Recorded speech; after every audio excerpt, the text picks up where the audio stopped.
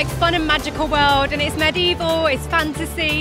Is this the type of world that you want to kind of draw people into? Yeah, I, th- I think when you're doing something medieval and fantasy, you've got a lot more scope for things that you can do. Premiere night for the first film, very exciting. How does it feel for it to have all come together and the, the fact that people are going to see it now as well? Like everyone's going to watch the film. Yeah, I think if I had hair, it would have gone totally great. the film's really fun, it rattles through, it's exciting, and, and I hope people enjoy it because, you know, we've got a second one coming. So you have to enjoy this. From performing covers online to others performing his music, Hurricane Harvey is blowing through your radio stations, streams, and online content, and now he's blowing into What's Up TV. Now, in October last year, you actually performed at the Radio 1 Teen Awards alongside Rita Ora, Little Mix, Liam Payne.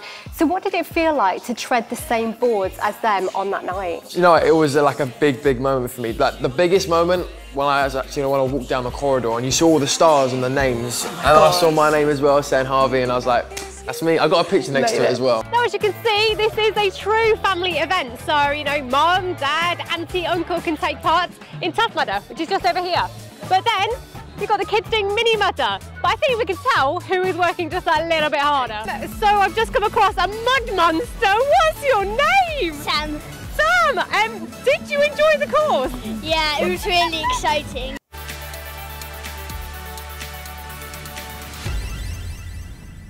Sixty percent of women with type 1 diabetes will have experienced an eating disorder by the age of 25. These type 1 diabetics are struggling with this debilitating condition and putting their lives on the line every day. You're providing education and training for healthcare professionals and also for members of parliament as well. So what have you seen that the government have done so far to raise awareness for this condition? you know, where do you start? Do you think about, try, okay, trying to get it a name? Well, that's important, but in the meantime, people are dying. I kind of think that it's time for us to be proactive instead of reactive. Sufferers of this condition are waiting months for the correct treatment, and some have even died waiting for the right care. Research and training for healthcare professionals is being provided in more areas than ever before. However, there's still so much more to be done. And the more that we talk about this problem, the more likely it is to be medically recognised.